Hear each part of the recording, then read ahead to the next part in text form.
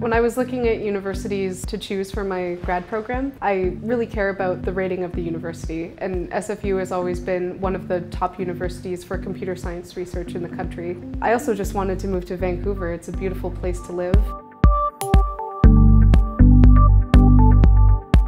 I've met so many awesome people here. There are people from all over the world who come to SFU.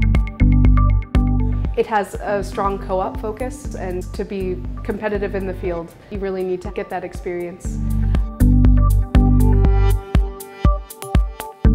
Connecting our students with top industry professionals helps facilitate the relationship between the student and the employer um, into a longer lasting relationship that transcends their graduation.